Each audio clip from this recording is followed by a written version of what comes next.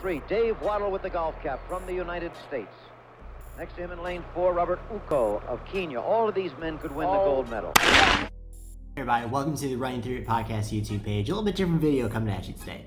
In today's environment of lack of anything sports related or track field related, I want to come out with a video series to dive into some of my favorite moments some of my favorite races, things that are maybe undervalued or things that have shaped me personally as a track and field fan. Some of our favorite moments or defining moments as as a fandom in general. So hopefully you guys enjoy it. It's a little bit of a different takeaway from what I usually do. Let's jump in. I'm a sucker for anything from the 70s era of sports, from Kareem's hookshot to Dave Wottle's painter hat. And it's that very hat that is the discussion of today's video. The man who made the hat, not the hat itself, as much as I would. Running in the era of legends, Dave Wottle is famous for two things. How he won his gold medal in 1972, and forgetting to take off his trademark painter's hat during the medal ceremony. However, even among running history buffs, Wottle is often an afterthought when talking about his era. When you think of 60s and 70s running, the names that often come to mind are like Pre, Shorter, Ryun, Coe, Lasse Viren, Kip Keino, so on and so forth. I want to leave it up to you to decide whether his footnote in history is just that, or if you believe that he's underrated. I believe he's underrated for three reasons that I'll explore below. Those three reasons being the 1972 Olympic season, the 1972 Olympics themselves, and Wottle's career post 1972 compared to that of his compatriots. Let's talk about the 1972 Olympic trials. The 1972 U.S. Olympic trials is a real who's who of track and field royalty. Pre set the 5,000 meter U.S. record and was thought of as a shoe in for the podium. Frank Shorter won the 10K, and while Jeff Galloway came in second and dueled one of my favorite athletes, Kenny Moore, in the marathon. Jim Ryun at the time held the mile and 800 meter world records, even took it to Wottle during the 1500 meters at the same trial. So it's safe to assume that while Wottle was one of the top athletes in the trials, considering he treated the 800 as a warm up towards his event, his 800 meter world record was a surprise to many. Dave Wottle had, and still has, always considered himself a miler. The 1500 meter was his proving ground at the Olympic trials, and only one man was standing in his way Jim Ryun. Ryun was having an up and down year. He reportedly was dealing with a bout of dysentery, which no doubt would affect your training, as well as admitting that he wasn't mentally committed to the sport anymore. Ryun and Wottle even faced off earlier in 1972 at Drake, which saw Wottle taking over the race, and Ryun being booed off the track after running a 414. Watch this race. Imagine booing a runner in today's track field climate. Come for the Dave Wottle, Wottle Dream Mile upset. Stay for Marty Liquori openly mocking Tim Ferguson on commentary. Bill Toomey. Thank you, Jack. Glad to have Marty helping me out in this race again. He was the Dream Mile winner last year. Marty, speaking of dreams in this race, we have a, a fantastic story as far as I'm concerned. I've been out of the country for a couple of weeks, but I came back to hear the story of a of a miler who supposedly either in his dreams or in practice ran a mile faster than you. What do you think about that? Well, he's rumored to have run a, two, a 352 mile, which would be the second fastest ever by an American. Rumored to have done this in practice. His father swears that he did it. Well, he's down there. He's in the race. He's in the race with Jim Ryun, a, a man who has been better than 352. If, in fact, he did run 352, we might see something. The story of Wottle's 1972 could easily be the story of Jim Ryun's star fading away from the sport, but I'll save that story for another day. Wottle's plan was to run the 800 meters of the trials as a workout, to mentally have another high caliber race under his belt, as he felt his fitness could carry him to a good time, to better prepare himself for the 1500 meter battle with Ryun. And with the kick he possessed, anything could happen over the last lap. And boy, did anything happen. It's extremely hard to find splits for the 1972 Olympic trials, so it's hard to say for sure that how this race planned out. But one thing is for sure the race got out hot. And because of that, and the caliber of athlete in the event, the race would yield a world record from an unlikely source. It's easy to look back 48 years later and say Wottle had no chance. That one that would be entirely untrue. For one, Dave Wottle had a renowned kick and would often post the fastest split, fast 800 meter split of any 1500 in any race that we know that we have the splits. Now, 1972, it's a little bit hard.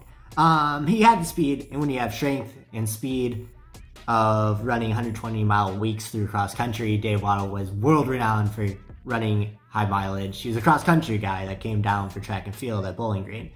And I would argue that his 144 is more, more impressive than his 353. And if you look at any of the equivalency charts, which I'll post in the kind of notes of this video, I think that bears. So that's that's that's a big case. So was his 800 meter world record a surprise at the time? Yeah. Is his 800 meter gold a surprise? It really shouldn't be. But let's talk about the 1972 Munich Olympics. The 72 Olympics are mainly remembered for the hostage standoff when Palestinian terrorists would sneak into Olympic Village and take members of the Israeli team hostage. That has no doubt marred the image of these Olympic Games. Most people don't remember Pre's disappointing 5,000 meter run, Ryun and Wottle's failure to advance in the 1500 meter, or even Frank Shorter's marathon gold. They do, however, remember Wottle's Olympic gold medal race. This race is best remembered for Wottle's seemingly impressive kick, coming from 50 meters back to claim the victory. Let's unpack that race a little bit. It should be important to remember that even though Wottle had the world record coming into the race, Yevgeny Arzahov. Yevgeny Arzhanov. It took me no less than 10 takes to get that right Hadn't lost in 1971 and had run at 145 earlier that year. The race was very much framed as communism versus the free world, like every good athletic event should be. Where Arzhanov was poised to take down Kenyan upstart Mike Boit, that's Dr. Mike Boit to you, and leave Wottle in the dust.